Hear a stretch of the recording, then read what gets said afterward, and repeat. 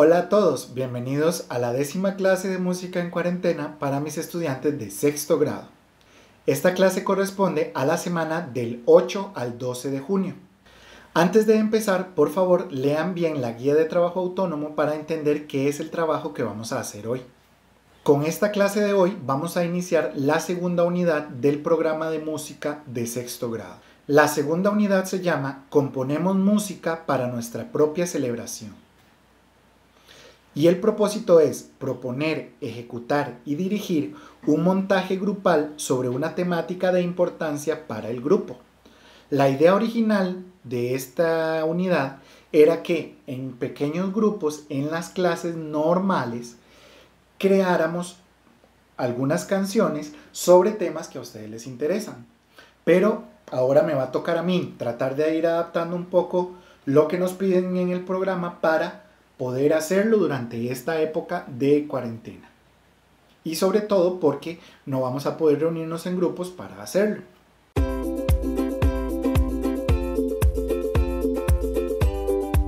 Tal vez estén escuchando un poco de ruido en el ambiente. Es que ahorita está lloviendo bastante fuerte, incluso están cayendo truenos. Entonces, si escuchan un sonido raro, ignórenlo, es eso que está pasando.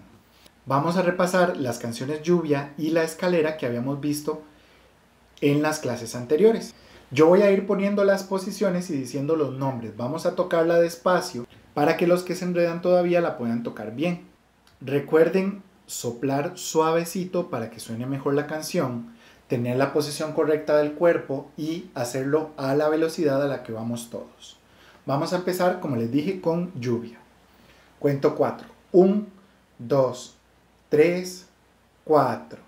Si, si, la, sol, la, si, la, si, la. Sol, sol, la, si, la, sol, la, si, sol. Y ahora vamos a hacerlo con la escalera. Cuento dos para empezar. ¿Listos? Uno, dos. Si, la, si, do, re, si, do, si, si, si. Do, si, do, re, do, si, la, sol, la, si, sol.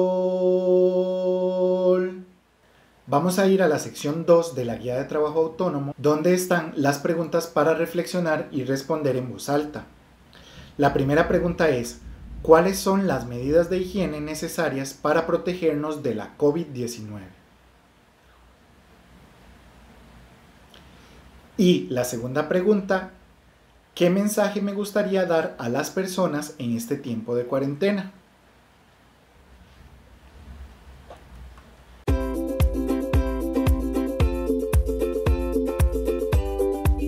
vamos a hablar un poco sobre cómo se crean las letras para ponérselas a música. Vamos a hacerlo de una manera más fácil. Vamos a ponerle letra a canciones que ya están compuestas, o sea, canciones que ya conocemos. Lo que tenemos que hacer es tratar de que las palabras vayan calzando con la música. Voy a darles cinco consejos que nos servirían de utilidad para poder crear letras para canciones que ya están hechas. El primero es tararear. Tararear es cuando hacemos una canción con la boca pero sin decir la letra. Por ejemplo, tararear la canción lluvia sería ta tarara tan.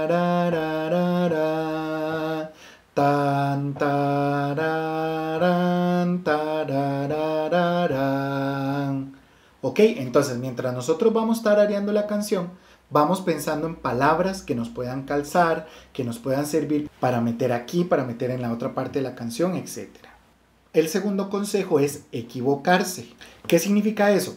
Hacerlo varias veces, aunque nos suene mal en la cabeza, el hacer una letra varias veces nos va a servir para ir mejorándola.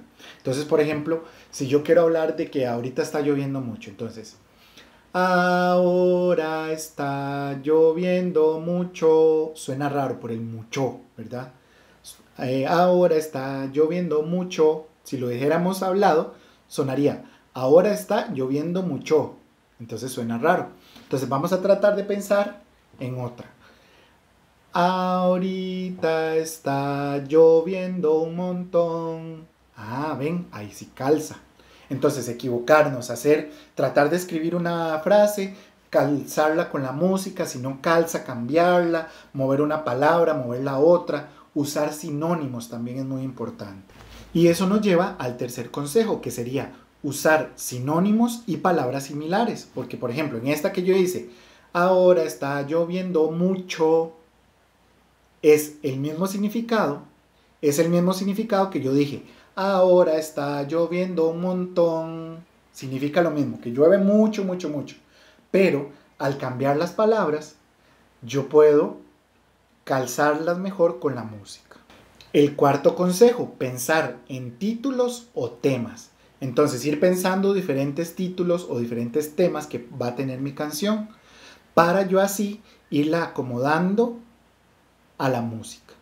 Entonces, ah, me gustaría hablar de esto, me gustaría hablar de lo otro. Entonces, ahí me voy moviendo, cambiando palabras, cambiando temas, cambiando títulos para que la canción suene mejor y calce mejor dentro de la canción.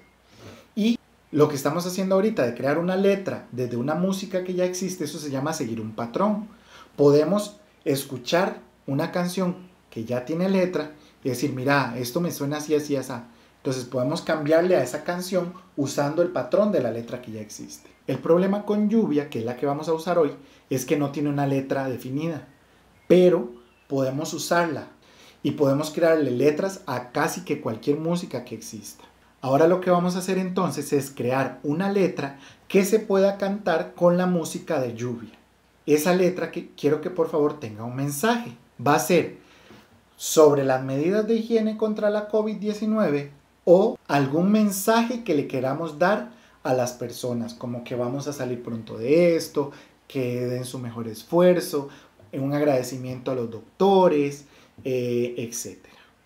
Con la música de lluvia, vamos a tratar de crear una letra para enviar este mensaje que queremos. Medidas de higiene contra la COVID o algún mensaje para la gente en cuarentena. Voy a tocar la canción una vez más para que ustedes la escuchen y se puedan guiar Así, cada vez que van inventando la letra pueden repetirla y devolver el video para eh, escribirla.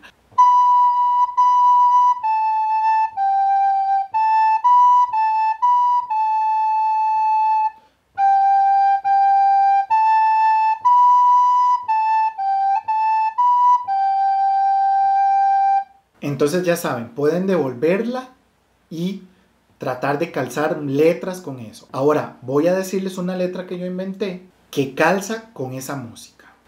Dice así. Muy pronto de esta vamos a salir. Cuídense mucho todos, por favor. Ok, ven, la letra que yo hice la adapté a la música de lluvia. Cuando hayan terminado la letra, por favor me mandan un audio donde me enseñan esa letra que crearon. Puede ser cantándola con la música de la canción, me gustaría más que fuera así, o si les da vergüenza, puede ser solo leyendo la letra, nada más leyéndola. Vamos a pasar ahora a la sección 4 de la guía de trabajo autónomo, donde están las preguntas para autorregularse y evaluarse. Esas son las que se contestan con sí o con no. A partir de la guía de esta semana, voy a agregar una sección en la que vamos a reflexionar en qué etapa del proceso del indicador de los aprendizajes esperados nos encontramos. Entonces, leen la información que dice ahí y ustedes mismos van a decir si se encuentran en, la etapa inicial, en la etapa intermedia o en la etapa avanzada. Recuerden que si tienen alguna duda sobre la creación de la letra, pueden consultarme. O pueden, por ejemplo, si están trabados en alguna parte, una letra que no les calza muy bien, pueden decirme, profe, yo hice esto, usted me puede ayudar ahí cambiándome alguna palabrita para que me quede más bonito. No es que yo les voy a hacer el trabajo, ¿verdad? Sino ayudarles. Si se traban en alguna cosa, yo les puedo ayudar para que puedan terminar. Espero que les haya gustado la clase de hoy. Nos vemos la próxima semana. Muchas gracias.